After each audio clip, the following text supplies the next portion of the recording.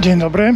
Jest 6 października 2022 roku i jestem w okolicach białostockich dworców.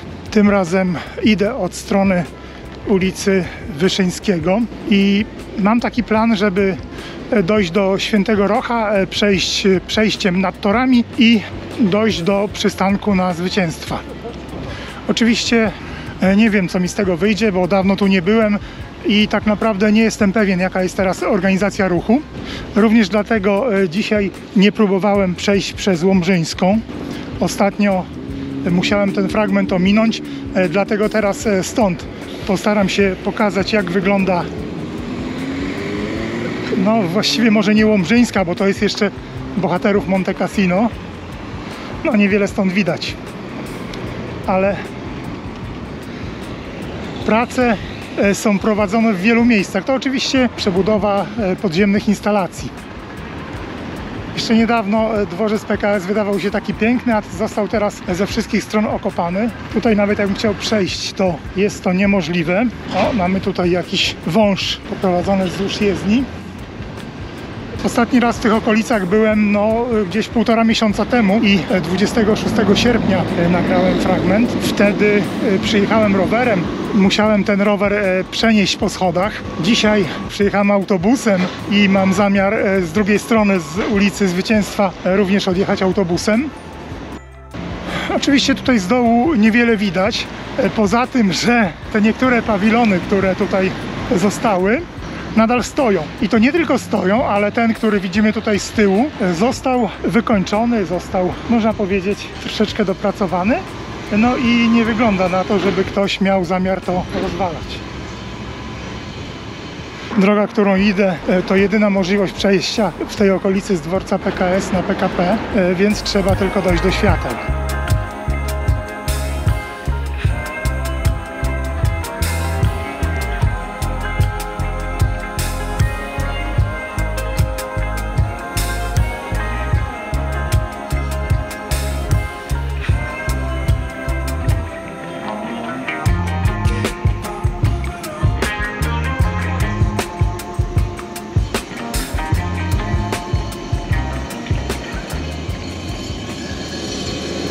No tak jak widać, tunel troszeczkę się przesunął, a właściwie zaczyna się przesuwać. Tutaj po lewej stronie to właściwie niewielka zmiana. Tyle tylko, że to co widzimy to chyba płyty położone na zadaszeniu, na stropie e, tego tunelu. Oczywiście mówię o tym łączniku, który te dwie platformy łączy z tym głównym tunelem, który będzie tutaj, gdzie są wbijane te e, właśnie ścianki szczelne i oczywiście wszystko to będzie połączone e, z tą częścią, którą widać na drugiej stronie. Zejdę na peron czwarty.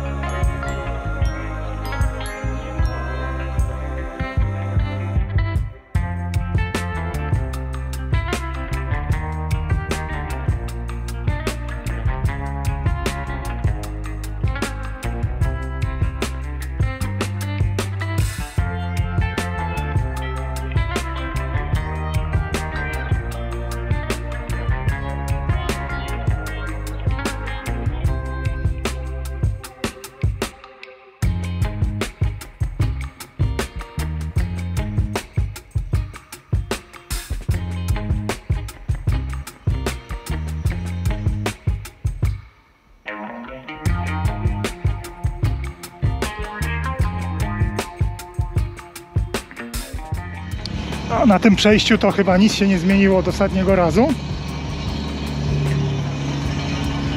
W prawo tunel, tam dalej już jest strop betonowy. I tak właściwie dotąd sięga. E, te ścianki odgradzają to od reszty.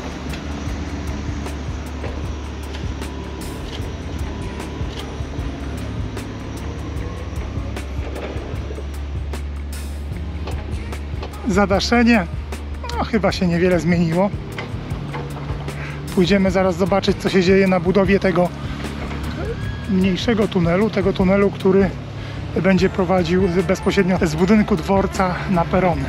Tu po prawej stronie też wszystko rozkopane.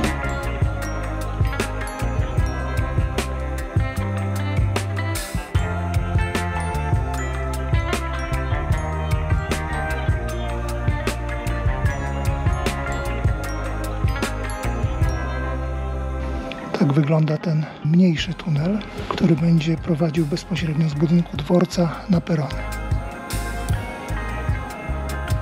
No i teraz znowu przejdę drogę, jaką musi pokonać typowy pasażer, który właśnie wysiadł z pociągu i chce odjechać autobusem z okolicy ulicy Kolejowej. I zwycięstwa oczywiście. Znowu szukamy przejścia dla pieszych, żeby to zrobić jakoś legalnie. Są tutaj takie dzikie, podchylane miejsca, gdzie na pewno przechodzą piesi. Ja oczywiście szukam prawdziwego przejścia. Po prawej stronie jest znak przejścia dla pieszych.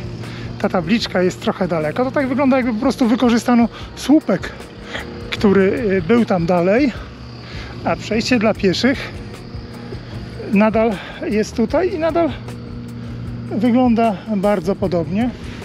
No, dzisiaj jestem w późniejszych godzinach, więc ruch jest o wiele mniejszy.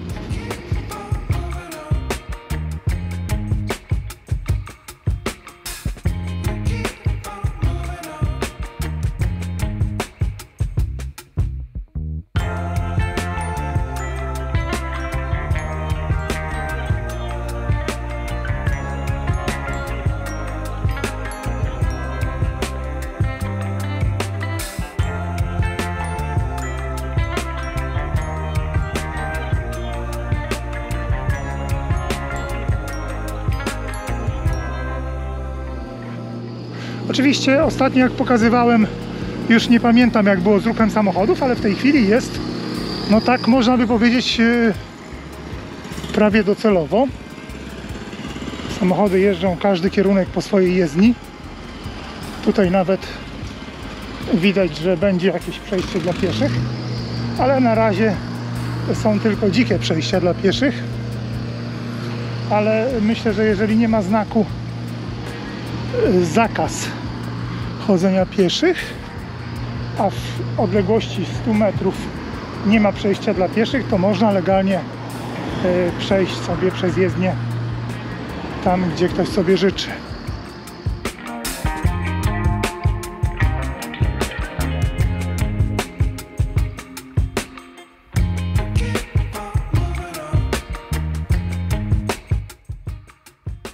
Ja dzisiaj, tak jak mówiłem, e, tylko dochodzę do tego tutaj przystanku na zwycięstwa i jadę dalej. Zaczyna to już jakoś wyglądać.